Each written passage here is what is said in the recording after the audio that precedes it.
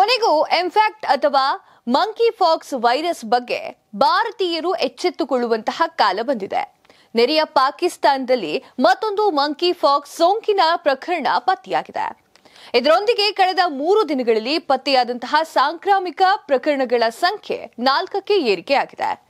ಇತ್ತೀಚೆಗೆ ಸೌದಿ ಅರೇಬಿಯಾದಿಂದ ಆಗಮಿಸಿದ್ದಂತಹ ಪಾಕ್ ಆಕ್ರಮಿತ ಪ್ರದೇಶ ಅಂದ್ರೆ ಪಿಒಕೆಯಲ್ಲಿ ಒಬ್ಬನಿಗೆ ಮಂಕಿ ಫಾಕ್ಸ್ ದೃಢಪಟ್ಟಿದೆ. ಈ ವಿಚಾರವನ್ನ ಆರೋಗ್ಯ ಇಲಾಖೆ ಅಧಿಕಾರಿಗಳು ಖಚಿತಪಡಿಸಿಕೊಂಡಿದ್ದಾರೆ. ಇದಕ್ಕೂ ಮುನ್ನ ಅಫ್ಘಾನಿಸ್ತಾನದ ಗಡಿಗೆ ಹೊಂದಿಕೊಂಡಿರುವಂತಹ ಖೈಬರ್ ಎನ್ನುವಂತಹ ಪ್ರದೇಶದಲ್ಲಿ ಕೊಲ್ಲಿ ದೇಶದಿಂದ ಆಗಮಿಸಿದಂತಹ ಮೂವರಿಗೆ ಈ ಒಂದು ಸೋಂಕು ದೃಢಪಟ್ಟಿದೆ. ಇದು ಏಷ್ಯಾ ಖಂಡದಲ್ಲೇ ಈ ವರ್ಷ ದಾಖಲಾದ ಮೊದಲ ಪ್ರಕರಣ ಅಂತ ಹೇಳಲಾಗಿದೆ. ಮಂಕಿ ಫಾಕ್ಸ್ ಈ ವರ್ಷ ಆಫ್ರಿಕಾ ದೇಶದಲ್ಲಿ ತೀವ್ರವಾಗಿ ಹಬ್ತಾ ಇತ್ತು. ಹದಿನಾಲ್ಕು ಸಾವಿರಕ್ಕೂ ಹೆಚ್ಚು ಪ್ರಕರಣಗಳು ದೃಢಪಟ್ಟಿತ್ತು. ಐದುನೂರಕ್ಕೂ ಹೆಚ್ಚು ಜನರನ್ನ ಈ ಒಂದು ಕಾಯಿಲೆ ಬಲಿ ಪಡ್ಕೊಂಡಿತ್ತು. ಭಾರತದ ನೆರೆ ದೇಶ ಪಾಕಿಸ್ತಾನದಲ್ಲಿ ಮಂಕಿ ಫಾಕ್ಸ್ ಪ್ರಕರಣ ಪತ್ತೆಯಾದ ಬೆನ್ನೆಲೆಯಲ್ಲಿ ರೋಗದ ಲಕ್ಷಣಗಳು ವಿದೇಶಿ ಪ್ರವಾಸಿಗರಿಗೆ ಅಥವಾ ಪ್ರಯಾಣಿಕರ ಕುರಿತು ಎಚ್ಚರಿಕೆಯನ್ನು ವಹಿಸಲು ಕೇಂದ್ರ ಆರೋಗ್ಯ ಸಚಿವಾಲಯ ಬಾಂಗ್ಲಾದೇಶ ಮತ್ತು ಪಾಕಿಸ್ತಾನ ಗಡಿಗಳಲ್ಲಿ ಎಲ್ಲಾ ಅಂತಾರಾಷ್ಟ್ರೀಯ ವಿಮಾನ ನಿಲ್ದಾಣ ಹಾಗೂ ಅಧಿಕಾರಿಗಳಿಗೆ ಸೂಚನೆಯನ್ನು ನೀಡಲಾಗಿದೆ. ಕೋವಿಡ್ ಹತ್ತೊಂಬತ್ತು ಪ್ರಪಂಚದಾದ್ಯಂತ ಭಾರಿ ಆತಂಕವನ್ನ ಸೃಷ್ಟಿ ಮಾಡಿತ್ತು. ನಂತರ ಕಳೆದ ಎರಡು ವರ್ಷಗಳಲ್ಲಿ ಮಂಕಿ ಫಾಕ್ಸ್ ಇದೇ ರೀತಿ ಮತ್ತೊಂದು ಪ್ರಮುಖ ವೈರಸ್ ಆಗಿ ಬದಲಾಗಿದೆ.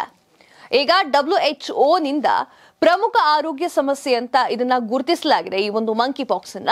ಏಷ್ಯಾದಲ್ಲಿ ಜನನಿಬಿಡ ಪ್ರದೇಶಗಳಿಗೆ ಹರಡುತ್ತಿರುವುದರಿಂದ ಪೂರ್ಣ ಪ್ರಮಾಣದ ಬಿಕ್ಕಟ್ಟು ಎದುರಾಗುವಂತಹ ಸಾಧ್ಯತೆ ಇದೆ ಅಂತ ಹೇಳಲಾಗ್ತಾ ಇದೆ.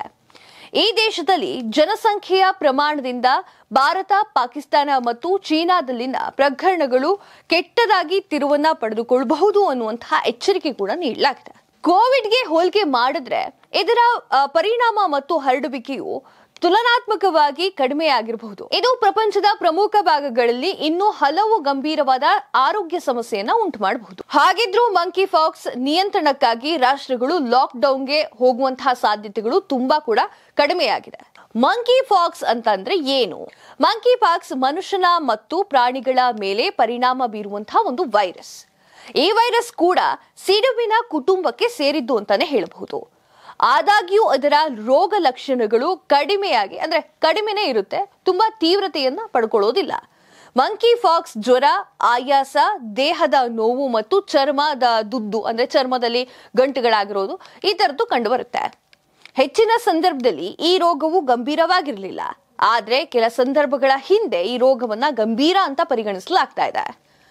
ಮಂಕಿ ಫಾಕ್ಸ್ ಹರಡೋದು ಹೇಗೆ ಅಂತ ನೋಡೋದಾದ್ರೆ ಮಂಕಿ ಫಾಕ್ಸ್ ಸೋಂಕಿತ ವ್ಯಕ್ತಿ ಅಥವಾ ಪ್ರಾಣಿಗಳ ಸಂಪರ್ಕದಿಂದ ಹರಡುವಂತಹ ಒಂದು ರೋಗವಾಗಿದೆ.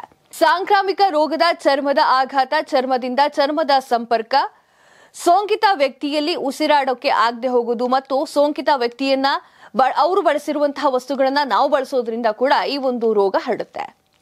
ಮಂಕಿ ಪಾಕ್ಸ್ ಅನ್ನ ತಡೆಗಟ್ಟಲು ಯಾವೆಲ್ಲ ಪರಿಹಾರವನ್ನ ಮಾಡಬೇಕು ಅಂತ ನೋಡೋದಾದ್ರೆ ಆಗಾಗ ಕೈ ತೊಳಿಬೇಕು, ಮುಖ ತೊಳಿಬೇಕು, ಹಾಗೆ ಶುಚಿಯಾಗಿ ಇಟ್ಕೊಳ್ಬೇಕು. ಸೋಂಕಿತ ವ್ಯಕ್ತಿಯಿಂದ ದೂರವಿರಬೇಕು, ಸೋಂಕಿತ ವ್ಯಕ್ತಿ ಬಳಸಿದ್ದನ್ನ ಯಾವುದೂ ಕೂಡ ಬಳಕೆ ಮಾಡಬಾರ್ದು. ಚರ್ಮದ ಮೇಲೆ ಯಾವುದೇ ಗಾಯ ಕಾಣಿಸ್ಕೊಂಡ್ರೆ ಅದನ್ನ ಹೊರಗಡೆ ತೋರಿಸೋ ಬದಲು ಮುಚ್ಚಿಡುವಂತಹ ಪ್ರಯತ್ನ ಮಾಡಬೇಕು. ಯಾಕಂದ್ರೆ ಬಿಸಿಲಿನ ಕಿರಣಕ್ಕೂ ಕೂಡ ಇದು ಹೆಚ್ಚಾಗುವಂತಹ ಸಾಧ್ಯತೆ ಇದೆ. ಪ್ರಾಣಿಗಳ ಸಂಪರ್ಕವನ್ನು ತಪ್ಪಿಸಬೇಕು. ನಿಮ್ಮ ಪ್ರದೇಶಗಳಲ್ಲಿ ಮಂಕಿ ಪಾಕ್ಸ್ ಪ್ರಕರಣಗಳು ಏನಾದರೂ ಪತ್ತೆಯಾದರೆ ನೀವು ಕೂಡಲೇ ಹೋಗಿ ಲಸಿಕೆಯನ್ನು ಪಡೆದುಕೊಳ್ಬೇಕು. ಇದು ಮಂಕಿ ಪಾಕ್ಸ್ನ ತಡೆಗಟ್ಟುವಂತಹ ವಿಧಾನವಾಗಿದೆ.